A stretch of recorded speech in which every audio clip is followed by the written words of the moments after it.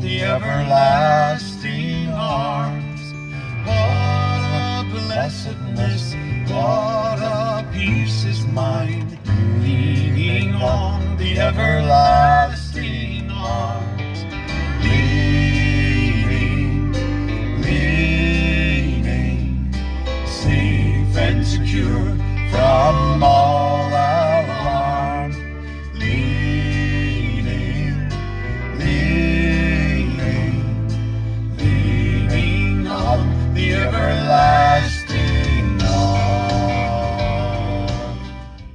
Good morning, everybody. This is Pastor Ken, and I'm happy to be with you today.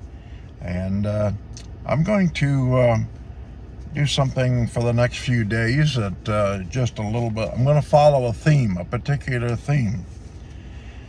And uh, it's not what I would call a an in-depth Bible study. It is a theme to encourage you. Rise and shine is to be just a short period of time each morning to encourage you.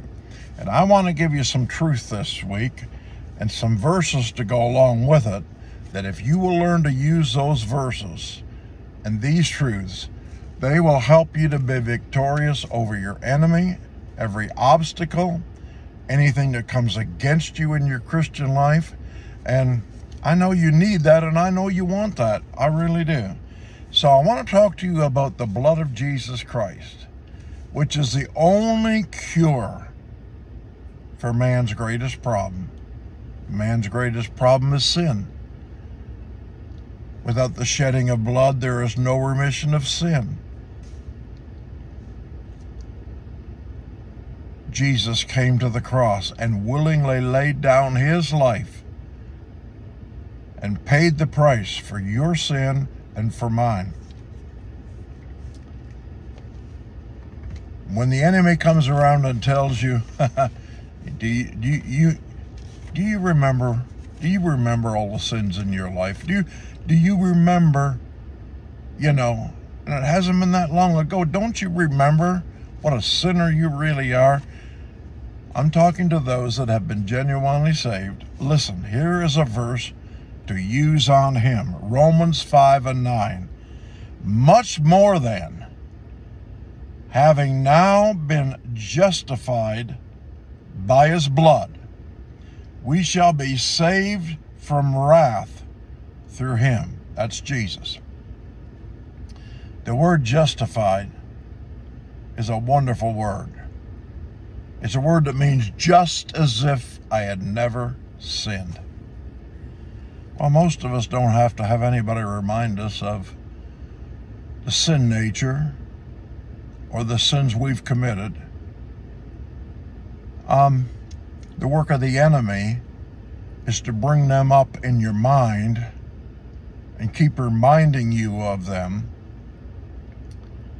If you've genuinely given your heart to Jesus Christ and asked Him to be the Lord of your life, you need some ammunition for your gun, your spiritual gun. Remember, you cannot go on your feelings. You cannot go on what anybody says. You have to go by the Word of God. And the Word of God says, you are justified by Jesus' blood, just as if you never have sinned. I want you to be encouraged with that today. And I want you to learn to use that verse, Romans 5 and 9. Because you find out when you got saved that your sin nature did not get saved. You got saved, the spiritual man got saved. Your name was written down in heaven. The nature of sin you will be dealing with until you get to heaven. And sometimes we get that confused because the nature of sin, the Adamic nature of sin, is always haunting us and taunting us, presenting sin in front of us, trying to tempt us. You need to understand that when you got saved, or even right today, no matter what the devil is saying to you, or your friends are saying to you, or even your subconscious mind is saying to you, you have been justified. Just as if you'd never sinned. Now, you will find help with this. You will find help with this when you start to learn that verse and you can say it. And that way, when th- crazy thoughts come to your head, oh, you know what big sinner you've been. You, you, you know all. You're you're nowhere near perfect. You're no, you know, you're so weak, and you just keep falling down and uh, spiritually. And and hey, you need to be able to take this verse in Romans five and nine and say, I am just affied by the blood of Jesus. You can be sure of one thing when you arrive at heaven, if someone were to ask you, What have you done to get here? You would have to say, like the songwriter, Jesus paid it all you would have to sing like the songwriter there is a fountain filled with blood drawn from Emmanuel's veins and sinners plunge beneath that flood lose all their guilty stains and you have been justified so when you have any thoughts whatsoever as a Christian of whether or not it's real or whether you can count on it or the enemy or somebody else. Do you remember the good old days when we used to go and sin? No, no, no, no, don't go there. Don't go there. You are just affied by faith, just as if you'd never sinned. Wow. That's where you that's where you want to go, right there. And quote this verse in Romans 5 and 9. Let me say it one more time. Much more than. I like that much more stuff.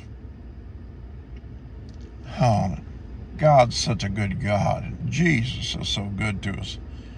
He's into the abundant life, the everlasting life. I, I came to give you abundant life, the much more type of life.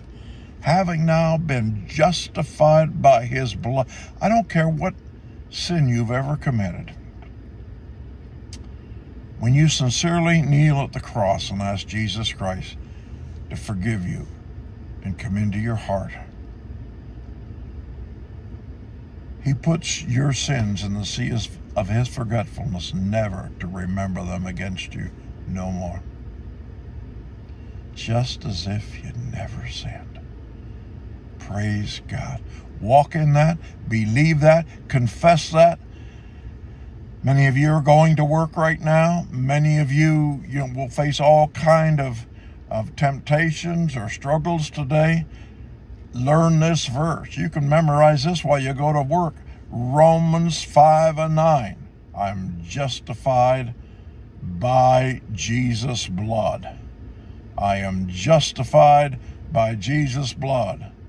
And what's justified mean? Just as if I had never sinned. Whew. Precious, precious, precious. Thank you, Jesus. Help us to learn how to take your holy word and use it as ammunition for our spiritual guns, I pray. And tell everything else and everybody else to back up because they're up against the Word of God, and the Word of God is true. Amen. You have a good day in the Lord Jesus Christ. Quote the Scripture, talk the Scripture. Don't tell God how big your problem is. Tell your problem how big your God is. And base your spiritual walk on the Word of God. You have a good day. I'll catch you later. Bye bye.